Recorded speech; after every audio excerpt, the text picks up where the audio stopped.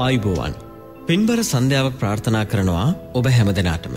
සිරසෙෆම් සෙනසුරාදා දම්සක්නද ධර්මදේශනය ශ්‍රවණය කරන්නයි අපි මෙතැන් සිට සූදානම් වන්. ලෝතුරා බුදුපාණන් වහන්සේ මේ සංසාර ගමනින් මිදෙන්නට අපට නිරන්තර කුසලෙහි හැසිරෙන්න කියලා දේශනා කරලා තියෙනවා.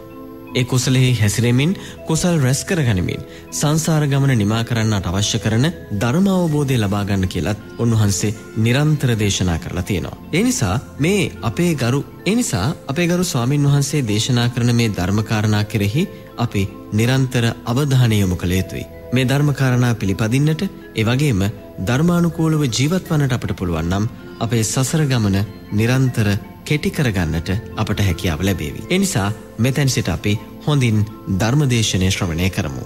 අද දවසේ සිරසෙෆෙම් සෙනසුරාදා දම්සක්නද ධර්මදේශනය පැවැත්වීම සඳහා මා නමස්කාරපූර්ක ආරාධනා කරන්නේ හොරණ වැලිපත ශීලස්වාරණ භික්‍ෂු ගිලන් මධ්‍යස්ථානය සහ අතුරුගිරිය සදහම් පදන මේ අනුශාසක පූජ්‍ය ගලිගමුවේ ඥානදීප ස්වාමින් වහන්සේට අවසරයි ස්වාමීණී.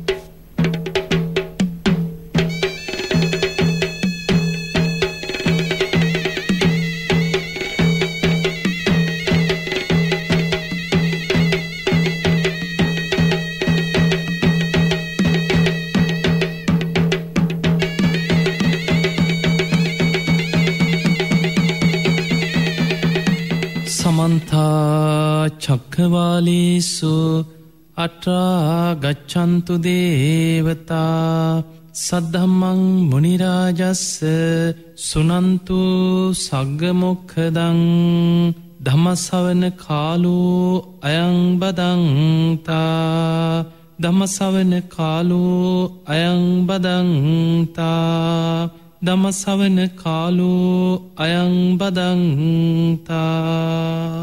නමෝතස්ස භගවතු අරහතු සම්මා සම්බුද්ධස්ස නමෝතස්ස භගවතු අරහතු සම්මා සම්බුද්ධස්ස නමෝතස්ස භගවතු අරහතු සම්මා සම්බුද්ධස්ස හැම දෙනාටම තෙරුවන්සන්න ප්‍රාර්ථනා කරමින් අදත් ඔබ හැම දෙනෙක්ම සෙනසුරාද දවස ඔබේ ජීවිතයට වැදගත් ධර්මකාරණා ටිකක් ශ්‍රවණය කරන්න බොහොම සද්ධාවෙන් ධර්මශ්‍රවනයට සූදානං වෙච්ච මොහොත. අපි ඔබ හැම දෙනාටම ආරම්භයේදීම ආශිර්වාද ප්‍රාර්ථනා කරනවා මේ උතුම් ධර්මශ්‍රවනය ඔබ හැම දෙනාටමත් නිවන්දොරටුවක් බවට පත්වේවා කිනාශිර්වාදය. පිංහතුනේ අපේ බුදුරජාණන් වහන්සේ සම්මා සම්බුද්ධත්වයට පත්වෙලා උන්වහන්සේ අවුරුදු හතලිස් පහක් පුරාවටම අවබෝධ කරගත් ධර්මය ලෝකයට දේශනා කරන්නට ඒතුුණ. ඔබ දන්නවා බුදුරජාණන් වහන්සේ බෝධි මූලේත් ඇඟ උන්වහන්සේට කිසිම ගුරුවරයෙක් හිටිය නෑ. සමහර වෙලාවට සමහරයට හිතෙන්න්න පුළන් ඉතින් ඔය ආලාර කාලාම උද්ධකරාම පුත්තළඟටත් ගියා කියන්නේ. හැබැයි පිංහතුනේ ධර්මී සඳහන් වෙන්නේ. උන්වහන්සේ සම්මා සම්බුද්ධත්වයට පත්වීම පිණිස උන්වහන්සේ අවුරුදු හයකට ආසන්න කාලයක් දුස්කරක්ක්‍රියාවන් කරලා. දුස්කරක්ක්‍රියාව අතහැරලා. ආලාර කාලාම ළඟට යන්නේ ආලාර කාලාමගෙන් තමයි ඉස්සරලාම ඒ වෙනකොට දුස්කරක්‍රියා කරන්න පෙර. මේ අය විමුක්තිය අවබෝධ කරගත්ත ශාස්තෘන් වහන්සේලා හැටියට තමයි මිනිස්සු විශ්වාස කරගෙන හිටිය. මේ ආලාර කාලාම ළඟට ගෙහිල්ල කිව්වා ඔබ මොනවගේ දර්ශනයක්ද උගන්නන්න. ඔබ මොනවගේ මගක්ද කියල දෙන්න. ඊට පස්සේ මාර්ගය ගැන අහගත්තා. අහගෙන සුළු වෙලාවකින් හොඳයි එහෙම නං කියලා පැත්තකට ගිහිල්ලා අපේ බෝසතාණන් වහන්සේ ඒ භාවනාව ප්‍රගුණ කර. සුළු මොහොතක් යනකොට උන්වහන්සේට ඒ කියන අරූප දිහාන දක්වාම හිත දියුණු කරගන්න ලැබෙනවා. ඊළඟට ගිහිල් ආලාර කාලාමකින් අහනවා ඔබ කියපුදේ මම අත්දැක්කා. මෙතනින් එහාට යන්නේ කොහොමද.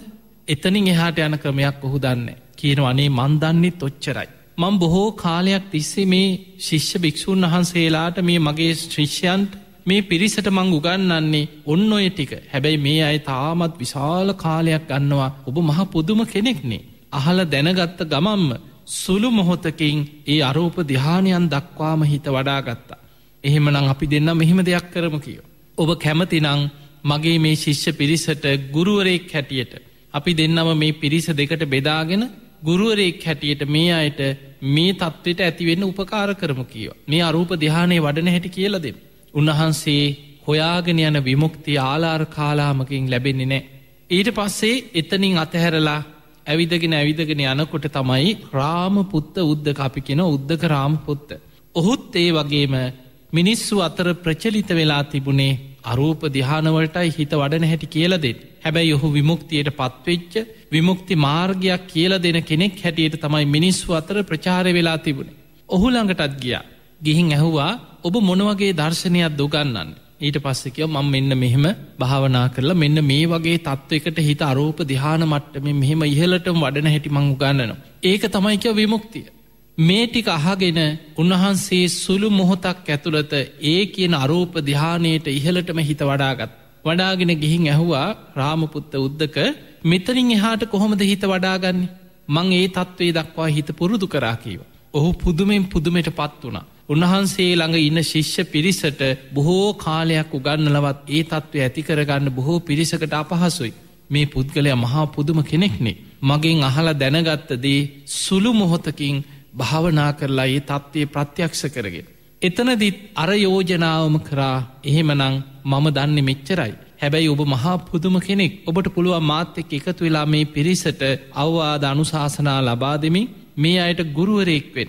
උන්වහන්සේ හොයාගෙන යන විමුක්තිය එතනින් ලැබෙන්නේ. ඊට පස්සේ තමයි එතන අතහැරලා ගිහිල්ලා ශරීරයට අනේක විද දුක්පීඩා දෙමින් දුස්කරක්‍රියා කරමින් උන්වහන්සේ ඒ කාලෙ සමාජි ආහාර වර්ජනයෙන් විමුක්තියක් ලබන්න පුළුවන් කියල යම් අදහසක් තිබුණද උන්වහන්සේ උපරිමේටම ආහාර වර්ජනය කරලා ඒ විමුක්තිය පිණිස උත්සාහ කරන්නට ේදුන. මේ විදිහට උන්වහන්සේ නොයෙක් ඒ කාලේ දඹදිව මිනිස්ව අතර තිබිච්ච රුත ඒ වගේම නොයෙක් විමුක්තිය පිණිස අනුගමනය කරපු ක්‍රමවේද මේ හැම දෙයක්ම අධ්‍යයනය කර කර විමසීමස බැලුව. නමුත් උන්වහන්සේට වැටහුණා මේ ක්‍රමවලින් නිවන කරායන්න පුළුවන්කමක් නෑ. අවසානය උන්වහන්සේ දුස්කරක්‍රියාව අතහැරලා පස්වක භික්‍ෂූන් වහන්සේලා පවා උන්වහන්සේට උපස්ථාන කර කර හිටියේ. දුස්කරක්‍රියා කිරීමෙන්මයි විමුක්තියට පත්වවෙන්න පුළුවන්. දුස්කරක්‍රියාවමයි මාර්ගයේ හැබැයි උන්වහන්සේ දුස්කරක්‍රියාව අතහරිද්දී මේ පස් දෙනාම අවසානය උන්වහන්සේවත් අතහැරලගිය. හැබැයි මේ විදිහට අරිය පර්යේෂණ ආර්ය පර්යේෂණයක් කරා දීර්ඝ කාලයක්. හැබැයි උන්වහන්සේට යම් අරමුණක් තිබුණ උන්වහන්සේට විමුක්තිය ලබාගන්න පුළුවන්. මොකද එදා අභිනිස්ක්‍රමණය කරපු දවසේ. අනෝමා නදී අසලදිත් කෙස් වැටිය කපල සත්‍යයක් ක්‍රියාවක් කරා මට ඒ කාන්තෙන් විමුක්තිය ලැබේන. මේ කෙස් පොළොවට නොවැටේවා අහසීම රැඳේවා කියලා කෙස් වැටි අහසට වීසි කරේ. යොදුනක් ඉහල අහසට කෙස් වැටිය පැනනැකලා අහසි රැඳෙනවා. සක්‍ර දෙවියන් තමයි රන් කරඩුවකින් පිළිගෙන සාධකාරදිදී දෙව්ලොවට අරගෙන ගිහිල්ලා සෙළුමිනි සෑ මවන්. උන්වහන්සේට ප්‍රත්‍යක්ෂ වුණා උන්වහන්සේ මේ ගන්න වීරයේ ප්‍රතිඵලයක් ලැබෙනවා මයි. ඊළඟට ගටේකාර බ්‍රහ්ම දෙවියන් අහසින් ඇවිල් අට පිරිකර පූජ කරාට පස්සේ. ඇඳගෙන හිටිය ගිහි වශ්‍රීකල අතට අරගෙන අර වගේ ආයමත් සත්‍යයක් ක්‍රියාවක් කරා. මං මේ විමුක්තිය කරායන ගමනේ මට ඒ කාන්තෙන් විමුක්තිය ලැබේනම්. මේ ගිහි වස්්‍ර පොළොවට නොඇටේවා අහසීම රැඳේවා කියලා ගිහි වස්්‍රියුගලත් අහසට වීසි කර. යොදුනක් ඉහල අහසට පැනනැගල අහසේ රැඳෙනවා. ගටේකාර බ්‍රහ්ම දෙවියන් කරඩුවකින් පිළිගෙන බ්‍රහ්ම දෙවිවරු සාධකාරදිදී බඹලවට ගිහිල්ලා සළුමිනි මහාසෑය නමින් චෛත්‍යයක් මවලා අපේ බෝසතාණන් වහන්සේගේ ගිහි වශ්‍රයු කළ සළුමිනි සෑ තැම්පත් කරන. මේ කාරණා දෙකෙම කෙස් වැටිය කපල අහසට විසිකරපු වෙලාවේ උන්වහන්සේ ඇඳගෙන හිටිය ගිහි වශ්‍රයුගල අතට අරගෙන සත්‍යයක් ක්‍රියා කළ අහසට විසිකරපු වෙලාවේ. පොළොවට නොවැටි යොදුනක් ඉහල අහසට පැනනගිද්දි උන්වහන්සේට වැටහුණා. උන්වහන්සේ මේ යන ගමනේ ප්‍රතිඵල ලැබෙනවා මයි. උන්වහන්සේ නිසා විමුක්තිය පිණිස ගත්ත උත්සාහය මැරුණත් නවත්තන්නේ නෑ. උන්වහන්සේට පුදුමාකාර වීරයක් තිබුණේ. එදා සුජාතාවගේ කිරිපිරුදානය වලඳලා. සොත්තිය බමුණනාදීපු කුසතනමිටි අටත් අරගෙන ඇසත බෝධීන් වහන්සේ අසලට යන ගමනේ. කිරිපිඩු වලඳපු රන් තැලියත් උන්වහන්සේ කරේ ගගේ වතුර පහලට ගලාගෙන යනකොට. මේ ජලය මතතියල අධිෂ්ඨානයක් කරලා ආයමත් උන්වහන්සේ අධිෂ්ඨානයක් කරල බැලුව මගේ මේ අරමුණ මගේ වීරිය. මං මේ ගන්න උත්සාහ ඒ කාන්තයෙන් ඉෂ්ට වෙනවද. මට ඒ කාන්තයෙන් ලෝතුරා සම්බුද්ධත්වය ලැබිය හැකිනම්.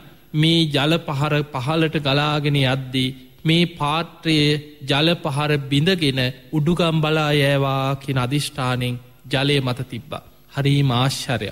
මේ ජල පහර පහලට ගලාගෙන යනවා.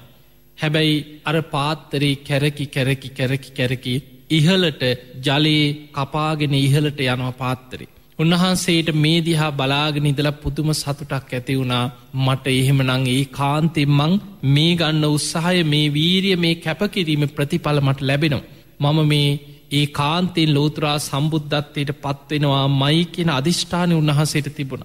එදා සුදු ඇලි තලාතරින් ගලාගෙන යන නේරංජනා නදියෙන් එතර වෙලා ඇසතු බෝධීන් වහන්සේ සෙවනේ. උන්වහන්සේ කුසතන ඉලලා වැඩ සිටිය පුද්දුම වීරියකි. ඔබ දන්නවා චතුරංග සමන්නාගත වීරිය කියල අපි ධර්මය හඳුන්නන්. මගේ ශරීරයේ සම්මස් වියලේවා. ඇටනහර පමණක් ඉතිරිවෙතොත් ඉතිරිවේවා. පුරුෂ වීරීම් පුරුෂ පරාක්‍රමෙන් යම් ධර්මයක් අවබෝධ කරගත යුතුද. මැරුණත් නැකිටින් නෑ කෙන අධිෂ්ඨානය. මේ අධිෂ්ඨානයට අපි කියෙනවා චතුරංග සමන්නාගත වීරිය. එවැනි වීරියකින් වැඩ සිටිය නිසා ඒ ආසනයට අපි කියන වජිරාසනය කියලා. උන්වහන්සේ මෙන්න මේ වීරිය මතින් තමයි එදා දස බිම්බරක් මාර සේනා පරාජය කරලා. බෝධි මූලේදී රාත්‍රයේ පළවෙනියාමයි පුබ්බේ නිවාසානුස්සතිඥානි දෙවනියාම චුතෝපාතඥානි තුංගනියාම පටිච්ච සමුපාදය අනුලෝම ප්‍රතිලෝම වසයෙන් විමසලා අවසන් වෙනකොට නැගෙන හිරෙන් අරුණෝදේ මතු වෙනකොට. හිත කෙලෙසුන්ගේ මිදිලා ලෝතුරා සම්මා සම්බුද්ධත්වයට පත්වෙනවා. පිංහතුනේ අපේ බුදුරජාණන් වහන්සේ බුද්ධත්වයට පත්වෙලා. ඔබත් මමත් සරණ ගිය අපේ ගෞතම බුදුරජාණන් වහන්සේ ප්‍රථම සතිය බෝධි මූලේමයි විමුක්තිසෝ විඳමින් වැඩ සිටිය. උන්වහන්සේ මේ බෝධිමූලේ වැඩසිටිද්දි විමසනවා පෙර බුදුරජාණන් වහන්සේලා. ගුරු තනතුරේ පිහිටවාගත් එක්කුමක්ද ගුරුවරයෙක් නැතුව වාසය කරන එක සුදුසු නෑ. තමන් වහන්සේටත් ගුරුවරයෙක් සිටිය යුතුයි. ඒ වෙලා විමසල බැලුව සීලේ ගැන සමාධිය ගැන ප්‍රඥාව ගැන සීලේ ගැන උන්වහන්සේට වඩා සිල්වත් කෙනෙක් ඉන්නවාද. දෙවියම් බමුන් මරුන් සහිත ලෝකෙ උන්වහන්සේට වඩා සීලෙන් ඉහලට හිත වඩාගත්ත. සීලයක් සම්පූර්ණ කරගත්ත. උන්වහන්සේට අවවාදයක් කරන්න පුළුවන් කෙනෙක් දෙවියම් බම මරුන් සහිත ලෝකෙ කොහෙවත්නෑ. ඊළඟට විමසල බැලුව සමාධිය පැත්තේ. මීට වඩා ඉහලට හිත වඩාගත්ත සමාධිය ප්‍රගුණ කරගත්ත කෙනෙක් දෙවියන් අතර බ්‍රහ්මයන් අතර මාරයන් අතර. මේ දෙව් බමුන් සහිත ලෝකයේ කොහේවත් ඉන්නවද ශ්‍රමණ බ්‍රාහ්මණයන් අතර කොහෙවත් නෑ. ඊළඟට විමුක්තිය පැත්තෙන් විමුක්ති ඥාන දර්ශනය උන්වහන්සේ මෙහෙම විමසලා විමසල අවසාන උන්වහන්සේ බැලුව පෙර බුදුරජාණන් වහන්සේලා. ගුරු තනතුරේ පිහිටවා ගත්තේ කුමක්ද.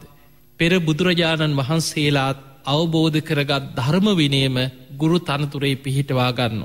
එදා අපේ බුදුරජාණන් වහන්සේ බුද්ධත්වයට පත්වෙලා පළවෙනි සතියේදිමයි බෝධි මූලයේදිමයි තමන් වහන්සේ අවබෝධ කරගත් ධර්ම විනය ශාස්ෘත්තයට පත් කරලා ධර්මවිනේ ගුරු තනතුරේ පිහිටවා ගත්තා. ඒ උතුම් ධර්මවිනීම තමයි බුද්ධත්වයට පත්වෙලා ඇසල පුන් පොහෝ දවසේ එදා පස්සක භික්‍ෂූන් වහන්සේලාට ඉසිපතන මිගදායේදී දම්ම චක්ක දේශනාව දේශනා කිරීමත් සමඟ දහම් ගඟ ලෝකයට විවර වෙනවා.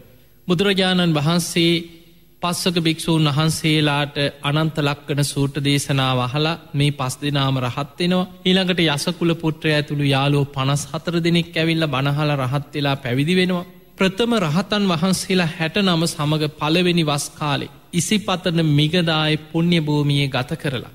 බුදුරජාණන් වහන්සේ වස් පවාරණය කරලා මේ රහතන් වහන්සේලා හැට නමට බුදුරජාණන් වහන්සේ වදාළ චරත භික්කවේ චාරිකා මහනෙනි චාරිකායි වඩින් බහුජන හිතායි බහුජන සුකායි බොහෝ දෙනාට හිතසුව පිණිස අත්තා හිතායි සුකායි දේව මනුස්සාන දෙව්මිනිස් ලෝකයාට හිත පිණිස සැප පිණිස ගම් නියම් ගම්පුරා වැඩම කරන්න චාරිකාය වඩින්න හැබැයි එක මගකින් දෙනමක් යන්න එපා. එතකොට තවත් ප්‍රදේශයකට මේ ධර්මය ව්‍යාප්ත කරන්න තින අවස්ථාව මග හැරිලා යන. ඒ නිසා එක මගකින් එක නමක් බැගින් වැඩම කරමින්.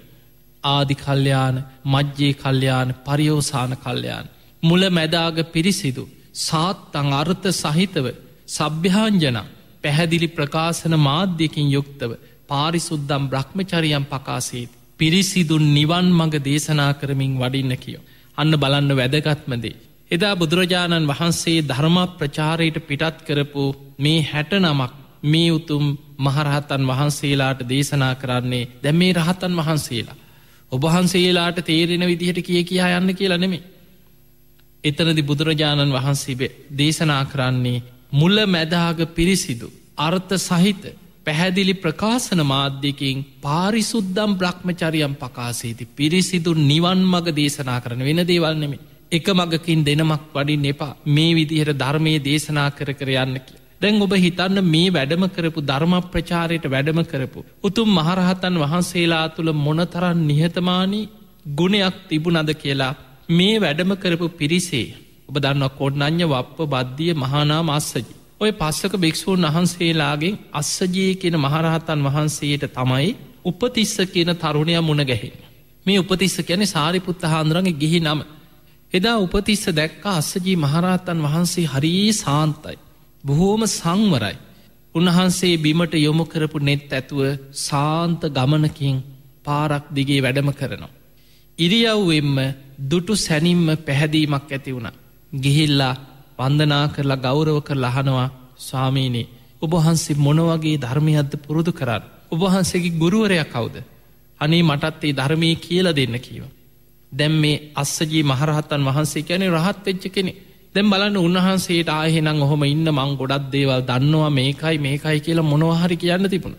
උන්වහන්සේගේ තිබිච්ච නිහතමානීකම අස්සජී මහරහත්තන් වහන්සේ කියනවා මම ධර්මය ගොඩාක් දන්න කෙනෙක් නෙමේ කියෝ.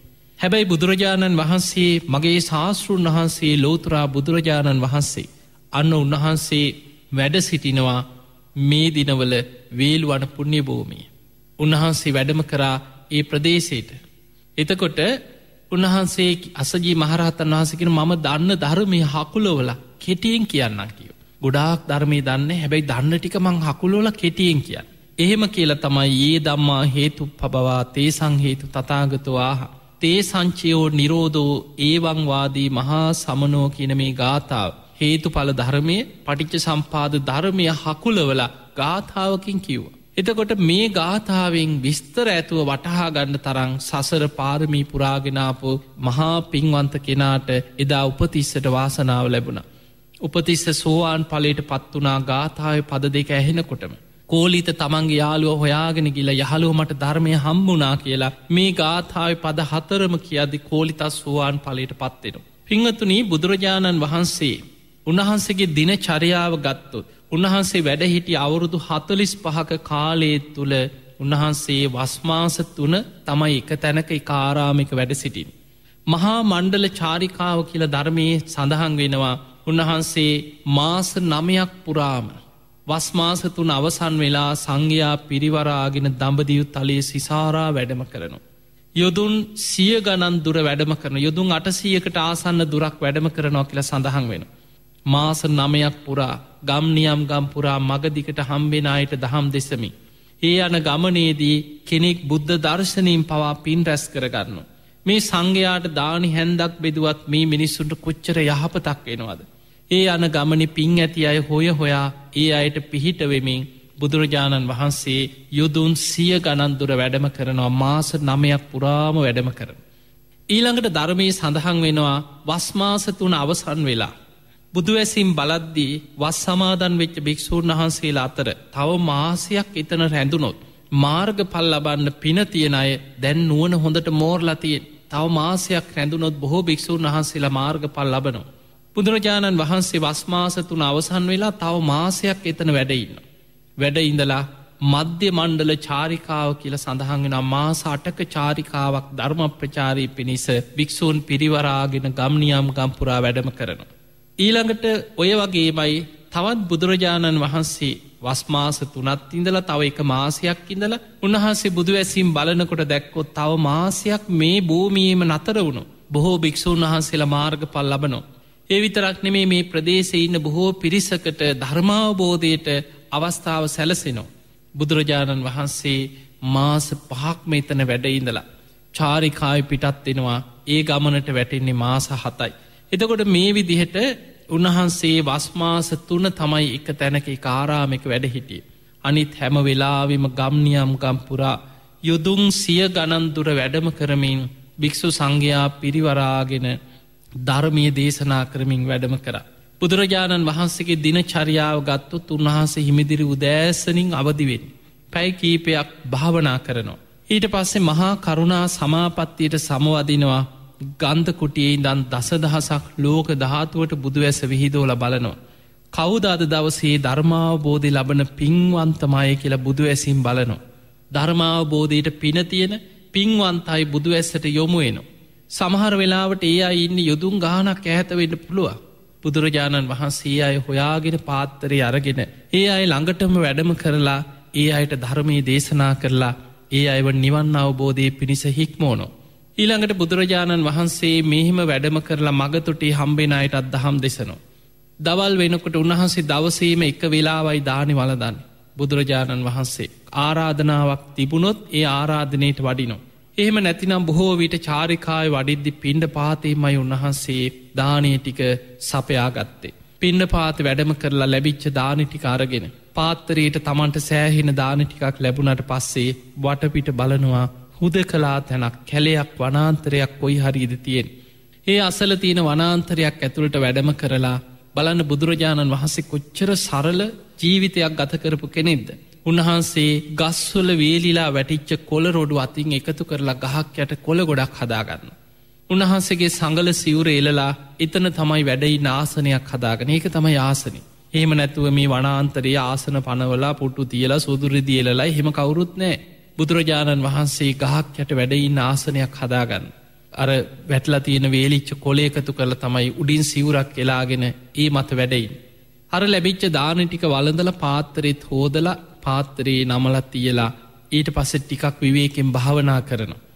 හවස් වෙනකොට දම්සභා මණ්ඩපේ බොහෝ පිරිසක් බණහන් එකතු වෙන වෙලාව. ඈත පලාත්වලින් දුරෑත ප්‍රදේශවලින් බුදුරජාණන් වහන්සේ දකින්න බණහන්න බොහෝ පිරිස සැවැත් නුවරනන් දම්සභා මණ්ඩපේට පිරිලා. හවස බුදුරජාණන් වහන්සේ දම්සභා මණ්ඩපේට වැඩම කරලා.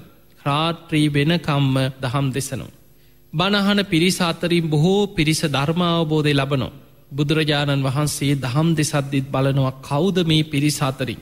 ධර්මාවබෝධය ලබන පින්වන්තමයි මේ විදිහට බුදුරජාණන් වහන්සේ මේ මනුස්්‍යයන් ගැන බොහෝ කරුණාවෙන් දහම් දෙසලා රෑබෝ වෙනකොට කරුවල වැටෙනකොට.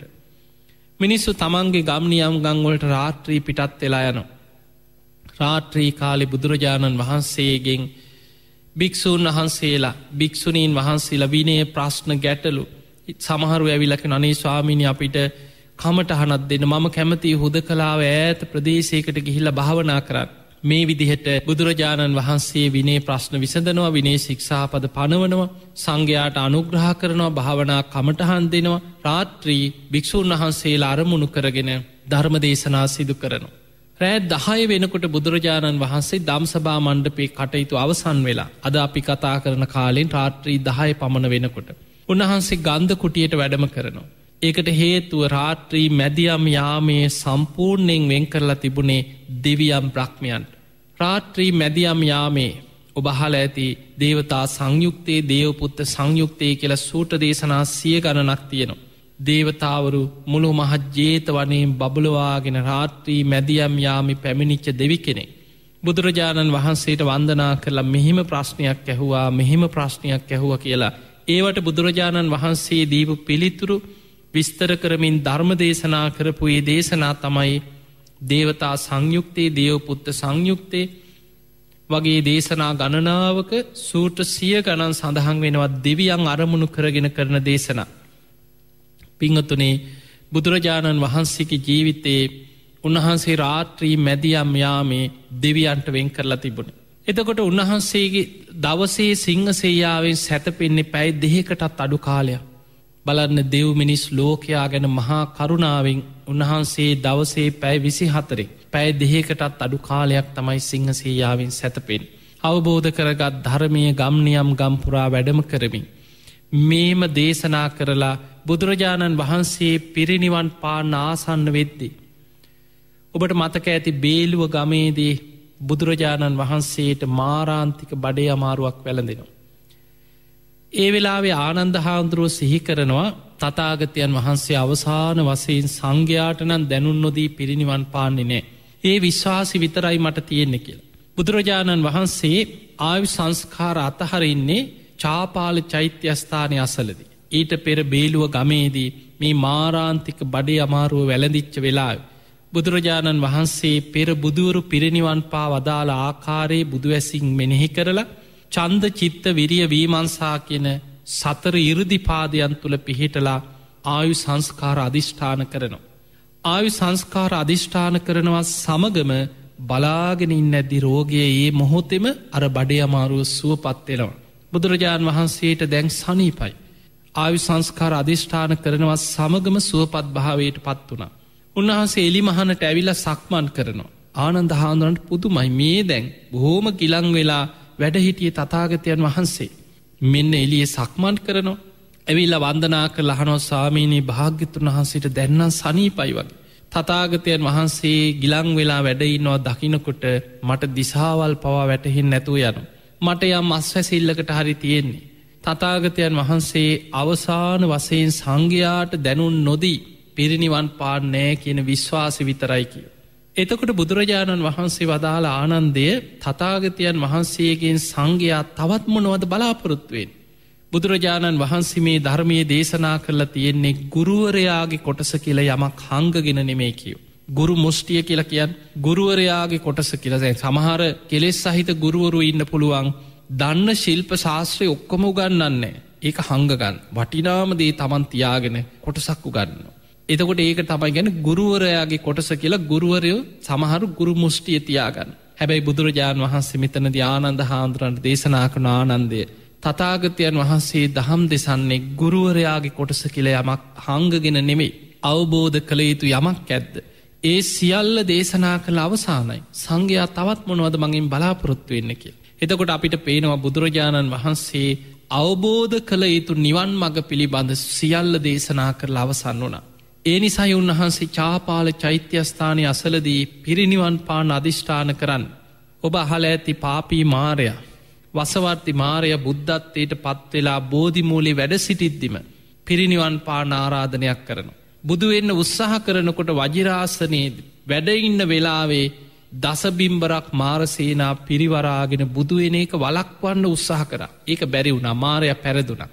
අවසානි බුදුරජාණන් වහන්සේ බුද්ධත්වයට පත්වෙලා විමුක්තිස්ුව විඳමින් බෝධිමූලි වැඩඉන්නකොට මාරය ඊළඟට ආයමත්වෙනවා. ඒ ඇවිල්ල වෙනම කතාවක් කියනවා. එහෙම ඇවිල්ල මාරයක් කියනෝ සාමීනයේ ඔබහන්සේ කොහොමහරි මගේ වසගේ මිදුනා. හැබැයි ඉති මේ මිදෙන මාර්ගෙනං දේශනා කර කර ගිහිලා අනේ ඔබහන්සේ වෙහෙසට පත්වෙන්න එපා කියව. ඉක්මනින්ම පිරිනිවන් පාන සේක්වා කියලා බුදුරජාණන් වහන්සේට මාරයා පිරිනිවන් පා නාරාධනා කළේ බෝධිමූලි වැඩඉන්නකොටමයි බුදු වෙලා වැඩ සිටිද්දිමයි.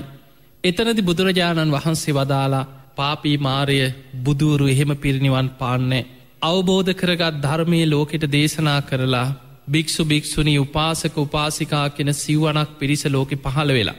ඒ අය ධර්මී ගැන ව්‍යක්ත විසාරද බෞශ්ෘත ධර්මදරාය බවට පත්වෙලා. දම්මානු දම්ම ප්‍රතිපදාවේදිලා සාමීචි පටිපන්න අනුදම්මචාරී පිරිසක් බවට පත්වෙලා. මගේ ශ්‍රාවකයන් බුද්ධ ශාසනයේ බබලවන්න දක්ෂ පිරිසක් වෙනකම් පිරිනිවන් පාන්නේ නෑ කියල බුදුරජාණන් වහන්සේ වදාල්. ඒක තමයි බුදු කෙනෙක්ගේ සම්බුදු කෘත්තිය.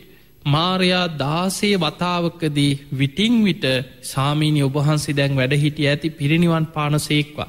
ඔබහන්සි දැන් වැඩ හිටිය ඇති පිරිනිවන් පාන සේක්වා කියලා නැවත නැවත දාසේ වතාවක් පිරිනිවන් පා නාරාධනා කරපු බව සඳහන් වෙන. ඒ හැම වෙලාම බුදුරජාණන් වහන්සේ අර කාරණී සිහිපත් කරනු. හැබැයි චාපාල චෛත්‍යස්ථානය අසලදී. මාරයයිදා පෙනීදල කියනව ස්වාමීණී ඔබහන්සේට මතකද. ඔබහන්සේ බුදුවෙච්ච දවසේ ඔබහන්සේ බෝධිමූලේ වැඩ සිටිතියේ දාමම් පිරිනිවන් පාන ආරාධනයක් කළා. එදා ඔබහන්සේ මට මෙවැනි ප්‍රකාශයක් කර පාපී මාරයේ බුදුරු එහෙම පිරිනිවන් පාන්නෑ.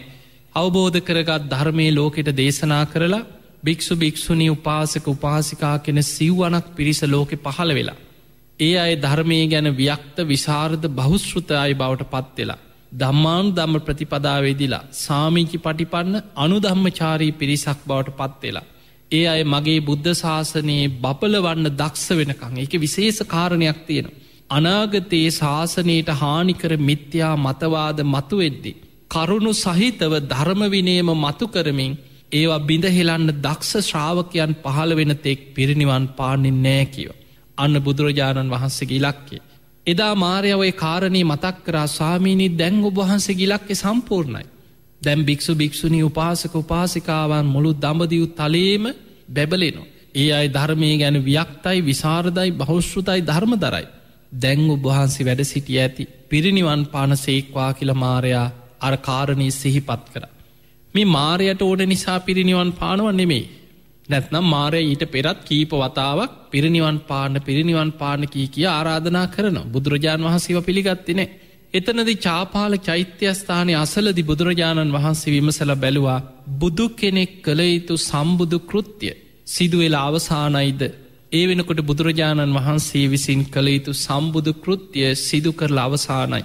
අන්නේ නිසා උන්වහන්සේ මාරයට කියන පාපී මාරයේ නුබ කලබල වෙන්න එපා. තව හරියටම මාස තුනක් අවසන් වෙන වෙසක්පුන් පොහෝ දවසේ පිරිනිවන් පානවා කියලා ආයු සංස්කාරයන් අතහැරලා. පිරිනිවන් පාන අධිෂ්ඨාන කරගත්තා තව හරියටම මාස තුනකින් පිරිනිවන් පානවා කියල්. ඒවිදියට තමයි ආයු සංස්කාර අතහරින්. එදා පිංහතුනි බුදුරජාණන් වහන්සේ පිරිනිවන් පාන මොහොතේ. මල්ල රජදරුවන්ගේ උපවර්තන සාල වනෝද්‍යානයේදී පිරිනිවන් මංචකයේ වැඩ සිටිමින් උන්වහන්සේ අනාගතයේ ශාස්තෘන් වහන්සේ වෙනුවට බුදුරජාණන් වහන්සේ ආනන්ද හාදුරන්ට කතා කරලකින ආනන්දය තතාගතයන් වහන්සේ පිරිනිවන් පෑවට පස්සේ. ඔබට හිතෙන්න්න පුළුවන් අනේ අපේ ශාස්තෘන් වහන්සේ දැම් පිරිනිවන් පාල. අපිට ශාස්තෘුවරයෙක් නෑනේ ධනේ අපි අසර නොවනානේද. අපිට දැන් ඉතුරු වෙලා තියෙන අතීතයට ගිය බුදු කෙනෙකුගේ ධර්මවිනයක් නේද ආනන්ද එහෙම සිතුවිලි හිතන්නවත් එපා කියෝ. ආනන්දය තතාගතයන් වහන්සේ අද රාත්‍රයේ පිරිනිවන් පෑවට පසුව. නුඹලාගේ ශාස්තෘූන් වහන්සේ බවට පත්වෙන්නේ මේ ධර්මයයි විනයයි කියලා ධර්ම විනේ ශාස්තෘත්තයට පත් කර. ඔබ හොඳට මතකතියාගන්න බුදුරජාණන් වහන්සේ පුද්ගලයෙක්ව නෙමෙයි ශාස්තෘත්වහි තිබ්බේ ධර්ම විනයමයි. බුදුරජාණන් වහන්සේ බෝධිමූලයේදී තමන් වහන්සේගේ ගුරුවරය බවට පත්කරගත්ති ධර්මවිනි. තැම් බුදුරජාණන් වහන්සේට තිබුණා මගින් පස්සේ මේ බුද්ධ ශාසනයේ ඊළඟට මෙන්න මේ කෙනාට පවරනවා. මෙන්න මෙයාට පවරනවා. ඒ කාලෙ මහා රහතන් වහන්සේලා වැඩ හිටිය. බුදුරජාණන් වහන්සේ පිරිනිවන් පාන්න පෙර සැරියුත් මුගලන් දෙනම පිරිනිවන් පාල. හැබැයි බුද්ධ ශාසන ඊළඟට වැඩහිටිය ශේෂ්ඨම කෙනා මහා කාශිප මහරහත්තන් වහන්සේ. ඔබ දන්නවා උන්වහන්සේව ධර්මය හඳුන්වන්නේ තතිය ශ්‍රාවකයන් වහන්සේ. ආනන්ද හාමුදුරුව හිටිය. ධර්ම බහන්්ඩාකාරික ධර්මයම කටපාඩන් කරගත්ත කෙන. ඊළඟට දිවස්ලාබීන් අතර අග තැන්පත් අනුරුද්ධ මහරහත්තන් වහන්සේ දායතන හිටිය. මහා කාශිප මහරහත්තන් වහන්සේ පිරිනිවන් පෑවට පස්සෙ තමයි පාවා නුවරඉදං ශ්‍රීදේහි ආදාහනය කරන මොහොතේ තමයි කුසිනාරාවට වැඩි. එතකොට බලන්න බුදුරජාණන් වහන්සේ බුදු ඇසින් දකින උන්වහන්සේ පිරිනිවන් පෑවට පස්සේ මේ ධර්මවිනයට ඊළඟට මූලිකත්වය අරගෙන ධර්ම සංගායනා කළ ශාසනයේ බබලවන්නේ මහාකාශි පහාන්දුරු පෙනුවෙනුත් බුදුරජාණන් වහන්සේ වගේ මයිකෙන්. මහා පුරුෂ ලක්ෂණ හතක් තිබුණ. හැබැයි බුදු කෙනෙකුගේ ස්භාවය ශ්‍රාවකයෙකුට ගන්න බෑ ශ්‍රාවකයා ශ්‍රාවකයෙක් පමණයි. ඒ නිසා බුදුරජාණන් වහන්සේ මහනෙන අදමම් පිරිනිවන් පෑවට පස්සේ. මගේ තැනට මෙන්න මෙයා පත් කරනවා කියලා වෙන ශ්‍රාවක භික්ෂුවක් පත් කරේනෑ බුදුරජාණන් වහන්සේ වදාළ මහනෙන ආනන්දේ තතාගතයන් වහන්සේ පිරිනිවන් පෑවට පස්සේ. නුඹලාගේ ශාස්තෘන් වහන්සේ බවට පත්වෙන්නේ ධර්ම විනයමයි ධර්ම විනය ශාස්තෘත්තයේ පිහිටවා ගන්න කිය. ඒ ධර්ම විනයටම ගරු කරපු උතු මහරහත්තන් වහන්සේලා කල්පනා කරා. බුදුරජාණන් වහන්සේ පිරිනිවන් පෑවට පස්සේ විශාල චෛත්‍ය හදන්නවත් විශාල බෘදු පිළිමෙනෙලන්නවත් දහතුන් වහන්සේලා බෙදල දුන්න ඒවය වටිනාකම දැනගත්ත දහතු තැම්පත් කළ චෛත්‍ය හැදුව හැබැයි ඒ තුළින් ධර්මවිනේ රැකගන්න පුළුවන් කියන මතය උන්වහන්සේලාට තිබුන්නේ එක සද්ධහා ඇතිකරගන්න ශාසනයේ පැවැත්මට බොහෝ පිරිසකට බුදු කෙනෙක් දැක්කාසේ පින් රැස් කරගන්න උපකාර වෙන දෙයක් දහතුන් වහන්සේල වන්දනා කිරීම හැබැයි අනාගතයේ මහරහතුන් බිහි කරන්නන අනාගතයට බුදුරජාණන් වහන්සේගේ ධර්ම විනය පිරිසිදු ආරක්ෂා කළ යුතුයි ඒ පිණිස මහාකාශප මහරහත්තන් වහන්සේ එදා ශ්‍රීදේහෙ ආදාහරණය කරන වෙලාවේ. අර සුබද්ධ භික්‍ෂුවගේ පහත් වචනය ඇහිච්ච වෙලාව සංඝයා රැස් කරලා කියෙනම් ආශ්මතුනේ අධර්මය බබලන්න පෙර අධර්මවාදීම් බලවත්වෙන්න පෙර. ධර්මය යටපත් වෙන්න කලින් ධර්මවාදීන් යටපත් වෙලා යන්න කලින්. ඒ වගේමයි විනය යටපත් වෙලා විනේවාදීන් යටපත් වෙන්න පෙර අවිනය බලවත් වෙලා අවිනයවාදීම් බලවත් එන්න කලින් ඉක්මනට ධර්මවිනේ සංගායනා කළ යුතුයි. ධර්මවිනේ ස්ථාපිත කළ යුතුයි කියලා. එතකොට අපිට පේනවා බුදුරජාණන් වහන්සේ පිරිනිවන් පානවත් සමගම ධර්ම විනේ යටපත් වෙලා අධර්මය අවිනේ මතුවෙන ලකුණු පහළ වෙලා තිබුණ. ඒ නිසා ඉක්මනින් මහාකාශප මහරහතන් වහන්සේ පන්සීයක් මහරහතන් වහන්සේලා එකතු වෙලා. ධර්ම විනේ පිරිසිදුව සංගායනා කළ ආරක්ෂා කරන්නට ඒදුනේ. පිංහතුනේ අවුරුදු සීයක් යන්න තැන එදා කාලාශෝක රජ්ජුරුවන්ගේ කාලේ. සබභකාමී යස කියන මහරහතන් වහන්සේලාත් එකතු වෙලා දෙවනි වතාවට ආයමත් ධර්ම විනේ සංගායනා කළ ආරක්ෂා කර. අවුරුදු දෙසිය තිස් ගණනක් ගිය තැන ධර්මාසෝක රජ්ජුරුවන්ගේ රාජ්‍ය අනුග්‍රහ යටතේ. මොංගලී පුතතිස මහරහතන් වහන්සේ ඇතුළු දාහක් මහරහතන් වහන්සේලා තුංගනි වතාවටත්. බුද්ධ ශාසනයට හානිකර ධර්මය විකෘති කරපු මතවාද දහසක් තිබුණයිද. සකවාද පන්සීයයි පරවාද පන්සීය. මේ මතවාද දාහම ධර්මවිනේම්ම කරුණු පෙන්වමින් ඒවා මිත්‍යාවල් හැටියට කණ්ඩනය කරලා ධර්ම සංගායනාවක් කරත් තුන්ගෙන ධර්ම සංගායන. මේ විදිහයට තමයි ධර්ම සංගායනා කළ ධර්මය ආරක්ෂා කරලා ලෝක අනෙක් රටවලටත් ඒ ධර්මය ව්‍යාප්ත කරමින් ධර්මය ආරක්ෂා කළ දුන්න. එනිසා බුදුරජාණන් වහන්සේ වෙනුවට අදාපිට ශාස්තෘන් වහන්සේ වගේ වැඩඉන්නේ ඒ පිරිසිදු ධර්මවිනි. පිංහතුනේ කෙනෙක් සද්ධාව ඇති වෙනවන්. සද්ධාව බුදුරජාණන් වහන්සේ පෙන්නුවේ සද්දෝ හෝති සද්ධාති තතාගතස්ස බෝධී. තතාගතස්ස බෝධීන් යැන බුදුරජාණන් වහන්සේගේ අවබෝධය ගැනයි සද්ධහා ඇතිවේ.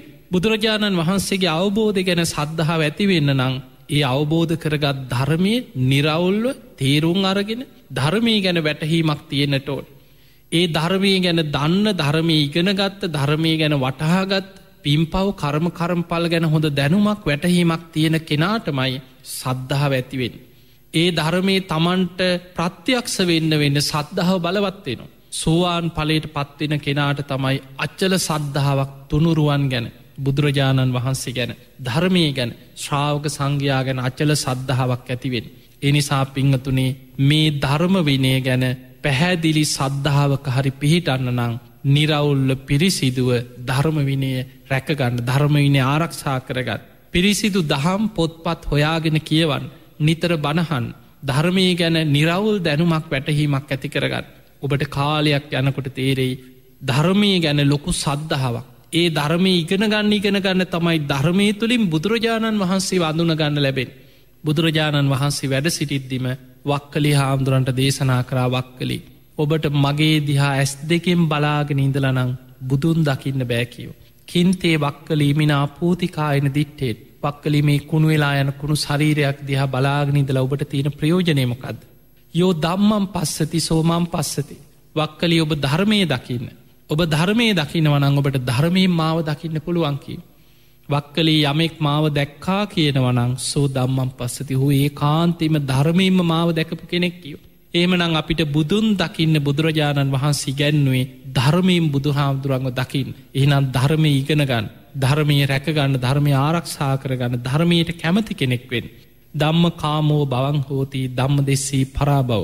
ධර්මයට කැමති කෙනා ධර්මයට ආස කෙනා දවසින් දවස ධර්මය තුළ දියුණුව කරායනු. දම්ම දෙෙස්සී පරාබව.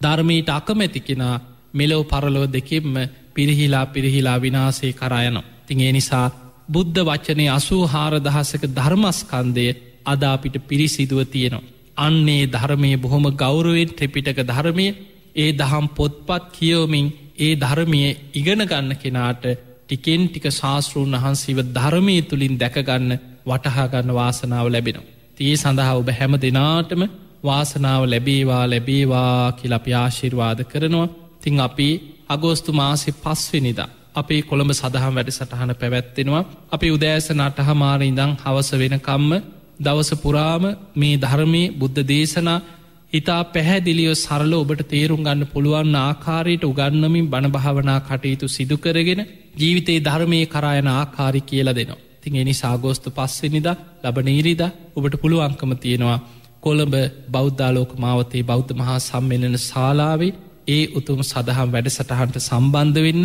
ඒවගේමයි ඇසලපුන් පොහෝ දවසේ බක්කුල මහා සෑ පුුණ්‍ය භූමයේ සිදුකරපු මහා පින්කම අවසන් වනාට පස්සේ අපි දැන් ඉදිරියේ චෛත්‍යයේ ගර්භය කටයුතු ආරම්භ කරනවා.